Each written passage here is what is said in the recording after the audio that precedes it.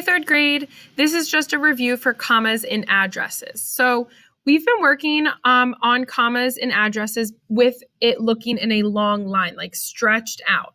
But there is another way to look at addresses. But let's review the first example. So example number one says Miss Keefer, comma, 101 South Hartman Street, comma, Manchester, comma, PA.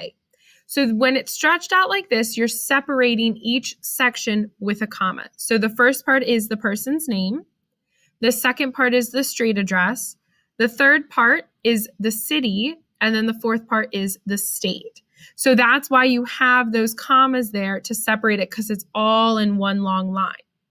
But the second way to write an example um, of writing an address is how you put it on an envelope. So if you were mailing something to someone and you had to write out their address, this is how you would do it.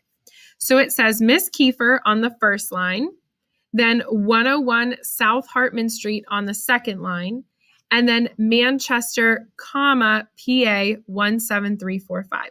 Those numbers are called a zip code. It again is just another way to help the mailman or mailwoman locate your house.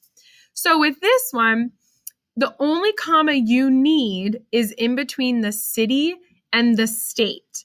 Now, here's the reason because the other parts are separated by being on a separate line. So, Miss Keefer is, a, is on its own line, 101 South Hartman Street is on its own line, but Manchester and PA are on the same line. So, they still need that comma separating them. So again, example one, if it's all in one long line, you're using that comma to separate it. Example two, if it's separated by line, you only need a comma in between the city and the state. Okay, you will see an example like that again in the future.